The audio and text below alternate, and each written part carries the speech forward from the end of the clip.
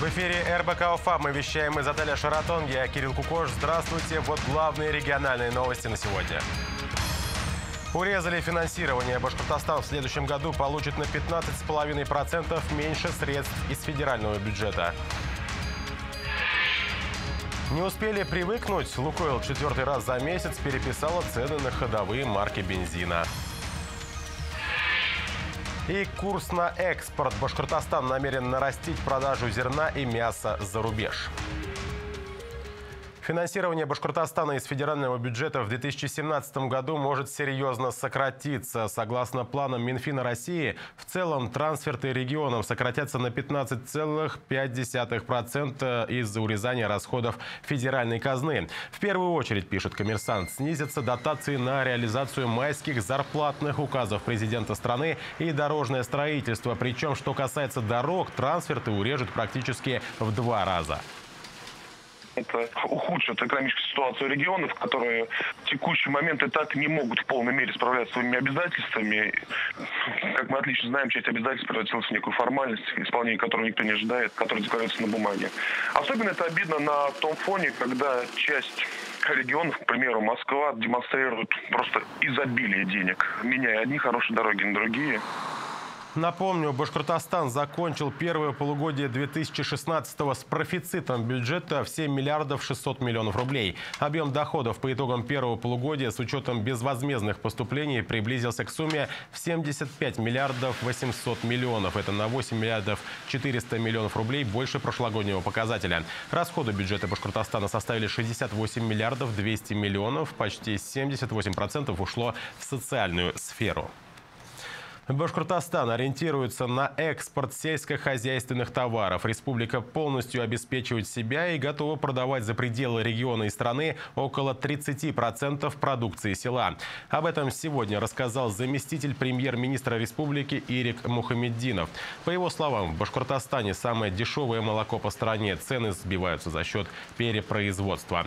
Я напомню, республика является лидером в этом сегменте по России. За 2015 год произвели миллион миллион 812 тысяч тонн молока. Также большие планы у региона по экспорту мяса. Уже в сентябре этого года в республику заходит один из крупнейших мировых поставщиков – группа компаний «Креманини». Итальянские инвесторы намерены построить в Башкортостане завод по производству мяса.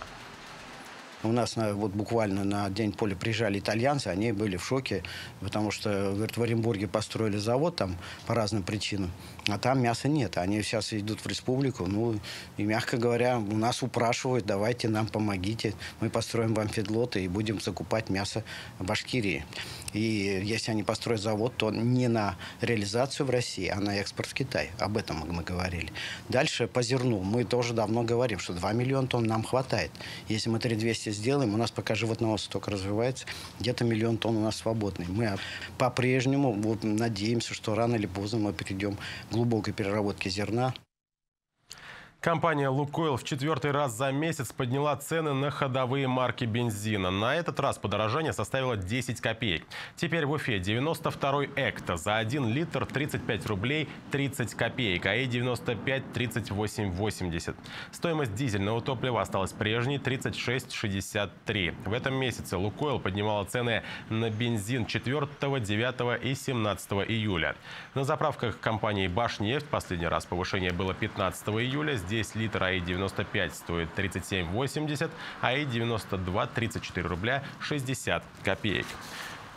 Переходим к курсам валют, установленных Центробанком на завтра. И доллар, и евро дорожают. Американская валюта по отношению к российской увеличилась на 82 копейки, 65,74. Европейская на 1 рубль 13 копеек, 72 рубля 34 копейки. Лучшие обменные курсы на сегодня. Покупка доллара в Быстробанке за 66 рублей 15 копеек, продажа в Башкомснабанке за 66,50. Наиболее выгодные предложения по покупке евро в Быстробанке за 72 рубля 60 65 копеек по продаже в банке Траст за 73,03. Правительство Башкортостана утвердило среднерыночную стоимость квадратного метра в городских округах и районах республики. Соответствующий приказ утвердил Госкомитет республики по строительству и архитектуре. Так, на 4% по сравнению с прошлым годом увеличилась цена квадратного метра в Уфе и составила 35 210 рублей. Значительный рост в Янаульском районе на 13%, на 0,3% стоимость увеличилась в Нефтекамске и Уфимском районе. Снижение отмечено в Агиде Дели на 1,4%. Цены установлены на третий квартал 2016 года для нуждающихся в улучшении жилищных условий и действуют при исполнении программ для поддержки госслужащих, многодетных и молодых семей, а также для выдачи социального жилья.